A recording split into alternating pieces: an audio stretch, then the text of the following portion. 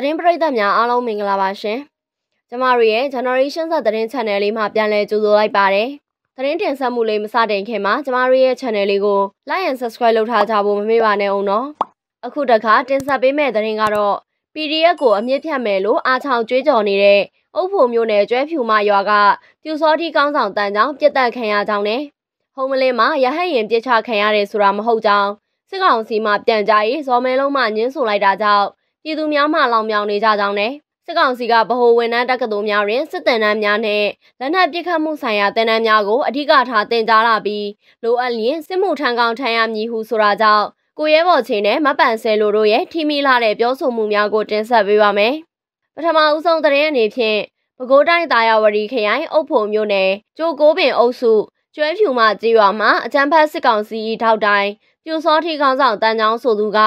ဒီကနေ့မွန်လွဲ2နာရီခွဲခန့်အချိန်ကတနက်နဲ့ပြစ်တက်ခံခဲ့ရတယ်လို့သိရပါတယ်။တန်ချောင်းဟာပြူစောထီခေါင်းဆောင်ဖြစ်တဲ့အပြင်လောင်းကစားဝိုင်းများအားဦးစီးပြုလုပ်ခါစစ်ကောင်စီထံကိုစကြေးပေးသွင်းနေသူဖြစ်တယ်လို့သိရပါတယ်။အဲ့ဒီအပြင်ပြည်သူလူထုကိုစစ်ကောင်စီရဲ့အားကိုနဲ့အမျိုးမျိုးနှိပ်စက်ဖိနှိပ်နေပြီး PDF များကိုအမြင့်ဖြတ်မယ်လို့ကြွေးကြော်ကတော်လိုင်းရေးအဖွဲ့အစည်းတွေရဲ့သတင်းများကိုစစ်ကောင်စီထံပေးပို့နေသူဖြစ်တာကြောင့်ရှင်းလင်းခဲ့တာလို့ဂျိုးပင်ကောက်ဟီရိုပျောက်ကြားတပ်ဖွဲ့ကထုတ်ပြန်ပါတယ်။ သူကပြူကောင်းဆောင်ဆိုတော့စစ်ကောင်စီရဲ့ထောက်တိုင်ဖြစ်တယ်။ PDF သတင်းတွေကိုစုံစမ်းပြီးတင်ပြတယ်။စစ်ကောင်စီကိုချိန်ချောက်တယ်ဆိုပြီးတိုင်ကြားခံရတာတွေကိုအဖွဲ့ကနေလက်ခံရရှိတယ်။စစ်တပ်ကနေစစ်ကြောင်းထိုးလာရင်လည်းသူကနေရာထိုင်ခင်းစီမံပေးတဲ့ချက်ပြုတ်ကျွေးမွေးတာမျိုးတွေရှိတယ်လို့ပဲခူးတိုင်း PDF သတင်းပြန်ကြားရေးတာဝန်ရှိသူမှအေယာဝတီတိုင်းကိုပြောပါတယ်။ပြစ်ခတ်မှုကြောင့်ပြူစောတိကောင်းဆောင်တန်ချောင်းဟာနေရာမှာပဲတိတ်ဆုံးသွားခဲ့ပြီး ပျောက်ကြားရဲဘော်များမှာအထီးကိုင်းမရှိအောင်မြင်စွာဆုတ်ခွာနိုင်ခဲ့တယ်လို့သိရပါတယ်။တဆက်ထဲမှာပဲဖေဖော်ဝါရီလ3ရက်နေ့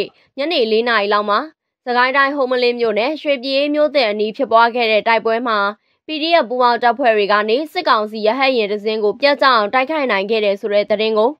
NUG ကထုတ်ပြန်ထားရာစစ်ကောင်စီကရဟတ်ရင်ပြတ်ကြတယ်ဆိုတာမှန်ကန်မှုမရှိကြောင်းပြောကြားလိုက်ပါတယ်။ဒီလိုပြစ်ကတ်ခံရတယ်ဆိုတာနဲ့ပတ်သက်ပြီးစစ်ကောင်စီသတင်းပြန်ကြားရေးအဖွဲ့ရဲ့ အွန်လိုင်းကရုကိုမေးမြန်းထားချက်အပေါ်မှန်ကန်မှုမရှိကြောင်းဖြေကြားအပ်ပါသည်လို့တုံ့ပြန်ဖြေကြားခဲ့ကြောင်းသိရှိရပါတယ်။ဒီရဟန်းရင်ပြတ်ကြရဲဆိုတဲ့အဲ့ဒီတိုက်ပွဲမှာစစ်ကောင်စီနဲ့ပြူစောတိ20လောက်တေဆုံးခဲ့ပြီး PDF ဘက်က2ဦးကြတယ်လို့လည်း NUG ကသတင်းထုတ်ပြန်ထားပါတယ်။ဒီသတင်းနဲ့ပတ်သက်ပြီးစောမဲလုံးကမပြတ်ကြဘူးပြောနေပေမဲ့မဟာလာစစ်ဘောမှာခွေးတိုင်းမှာငိုကြွေးပြောဆိုကဗီဒီယိုဖိုင်တက်သိမ်းတဲ့တကွပြောဆိုလာတာကြောင့်တော်လိုင်းရေးပတော်သားကြီးမှအခုလိုပြောဆိုထားပါတယ်။ မဟာလာကတတ်မှာဆိုလို့ရှေ့ပြဟောရီတလားတခါပြေးပြေးမေးနေတဲ့ဇော်မဲလုံးကလေရင်ညာပြတ်ကြတာမဟုတ်ဘူးတဲ့။ရှော့ဒီမှာသူတို့စစ်ခွေးတွေငိုပြောဆဲတိုင်နေပြီ။အတိုင်ဖောက်ကမညီဘူးဒါလေးတောင်ရှေ့ဖြစ်ကကြိုမသိမဟောနိုင်ဘူးလား။အလကားကောင်တေးမာကြောက်တာထက်ဆရာမငန်းချင်လို့ခဏခဏသွားမေးနေတာ။ပြီးရင်ငိုကြီးချမ်းမနဲ့မားလာတောက်တင်းအုပ်ပြီးကျွန်တော်ထိုးကျွေးနေတယ်လို့သေးတာ။ဒီတစ်ခါအတန်ဖိုင်တွေမားလာစီကိုပို့ပေးတင်အောင်ပါ။ ခွေးကြောင်ငမဲလုံးဒီမှာမင်းအကြောင်းအကုန်ရှိတယ်နော်။ဘာဖြစ်မလဲကြည့်ပေးပါအောင်မေးရတာအမောတကောငါကြောက်ကောင်အစင်ကကြီးကြီးကျယ်ကျယ်နဲ့ US တန်ယုံကကောင်တွေ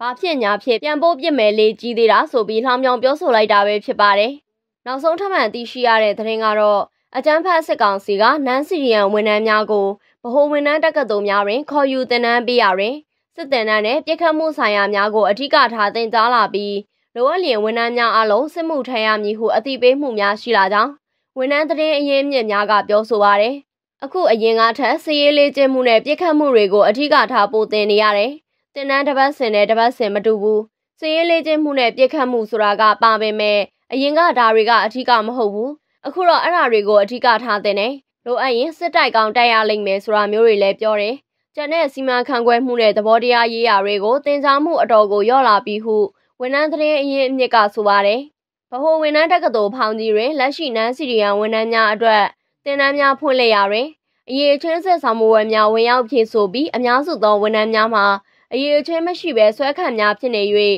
အရေးချင်းမမီမှုနဲ့ဆောင်မှုဝဲကြဆုံမှုများရှိနေသဖြင့်ဌာနဆိုင်ရာအပြစ်တင်ရှုံချသည့်ဝေဖန်စာများထုတ်ပြန်ပြောဆိုမှုများလည်းရှိကြောင်းသိရှိရပါတယ်။ဖောင်ကြီးဗဟိုဝန်ထမ်းတက္ကသိုလ်မှာတင်နန်းစင်းအရေးချင်းဆရာမှာအများစုကဆွဲခန့်ဝန်ထမ်းတွေဖြစ်တော့ အားလုံးနှိပါကအလဲအလက်အရေးချင်းတော့မရှိဘူးဖြစ်နေတယ်။တပ်ဆိုင်ရာဌာနအကြီးအကဲတွေကတင်နန်းရလက်ဆမဝဲရလက်တွေကိုကြည့်ပြီးစိတ်ဆိုးဒေါသထွက်နေကြတယ်။ဌာနဆိုင်ရာညွှန်မှုညွှန်ချုပ်တွေအနေနဲ့ဝန်ထမ်းတွေအပေါ်ကိုထိန်းချောင်းကြပ်မတ်မှုတင် जा ပေးမှုနဲ့အသိပညာအတတ်ပညာပိုင်းနဲ့ပိုင်းအစိုးရရန်နေရအတွက်အတော်ကိုကတိကလင်ဖြစ်နိုင်တယ်ဆိုပြီးအုပ်ချုပ်မှုခေါင်းဆောင်တွေကိုအပြစ်တင်တဲ့ဌာနလျှို့ဝှက်စာတွေတောင်ထုတ်ရတဲ့အထိဖြစ်လာတယ်။အဲ့ဒီလောက်အထိကိုအရေးချင်းမရှိဖြစ်နေတာဟု ဝန်ထမ်းသတင်းအရင်အမြစ်ကပြောပါတယ်။လက်ရှိဗဟိုဝန်ထမ်းတက္ကသိုလ်များတွင်နိုင်ငံရေးဆိုင်ရာအခြေခံသဘောတရားများကိုသင်ကြားရာတွင်လည်းနိုင်ငံရေးအခြေအနေမှာစစ်တပ်အနေဖြင့်အာဏာမယူလိုပဲထိမ့်သိမ်းထားရခြင်းဖြစ်ပြီး NLD နဲ့ဒေါအောင်ဆန်းစုကြည်က2020မဲမတမာမှုပြဿနာများကိုမရှင်းလင်း၍ဖြစ်ကြောင်း2008ဖွဲ့စည်းပုံအခြေခံဥပဒေအရစစ်တပ်ကရွေးကောက်ပွဲပြန်ကျင်းပ၍အနိုင်ရပါတီကိုအာဏာပြန်လွှဲညီဆိုသော ဝါရဖြန့်နိုင်ငံရေးသဘောတရားများကိုနေ့စဉ်တင်ကြားဝါရဖြန့်နေသည်ဟုသိရှိရပါတယ်။ဒီသတင်းနဲ့ပတ်သက်ပြီးကိုရဲဘော်ချိန်မှလည်းအခုလိုပြောဆိုထားပါတယ်။ Fighting Nan CDN တွေအဘကတော့နန်းတွေကိုချစ်လွန်လို့လိုအပ်ရင်စစ်မှုပါထမ်းခိုင်းဖို့လေ့ကျင့်ပေးနေပြီးတဲ့ဗဟိုဝန်ထမ်းတက္ကသိုလ်ဖောင်ကြီးမှာနန်းစီရီယန်တွေကိုခေါ်ယူပြီးသင်တန်းပေးရမှာစစ်တင်တန်းနဲ့ပြစ်ခတ်မှုဆိုင်ရာများအဓိကထားသင်ကြားလာပြီးလိုအပ်ရင်ဝန်ထမ်းများအလုံးစစ်မှုထမ်းရမယ်လို့အသိပေးမှုရှိလား ဝန်ထမ်းသတင်းအရေးအမြစ်များကပြောဆိုရတယ်။ကောင်းပါတယ်နောက်တစ်ချိန်ကျရင်အလုပ်ထုတ်ဖို့မလိုတော့ဘူးပေါ့။အဘကစစ်မှုထမ်းခိုင်းမယ်ဆိုတခါတည်းအေးကုန်တာပေါ့လေ။နန်းစီရီယန်တွေကိုစာနာပါလို့ပြောနေတဲ့သူတွေလည်းနန်းကစစ်တပ်ရဲ့အရန်စစ်ရင်အားဖြစ်လာတာစပ်ပြီးနားလည်ပေးလိုက်အောင်နော်ထို့နောက်မပန်ဆယ်လိုမှလည်းဖောင်ကြီးစင်းနန်းတွေကတော့ငွေချောက်ကြိုက်တော့မယ်အပြည့်အခတ်တွေတင်နေရပြီးလိုအပ်ရင်စစ်မှုထမ်းရမယ်တဲ့ငါနဲ့စိတ်တောင်မကောင်းဘူးဆိုပြီးနန်းစီရီယမ်မတွေကိုပြောဆိုလိုက်တာပဲဖြစ်ပါတယ် ဟုတ်ကဲ့ပါရှင်အခုလိုဆုံးထိနာဆင်မိတဲ့သတင်းပရိသတ်များကိုအထူးကျေးဇူးတင်ရှိပါတယ်နောက်ထပ်ပြည်ရင်ပြည်ပသတင်းတော်လှန်ရေးဘတော်သားများရဲ့သတင်းများနဲ့အတူပြန်လာခဲ့ပါမယ်အားလုံးပဲကိုစိတ်နှပြရှင်လန်းချမ်းမြေ့ကြပါစေရှင်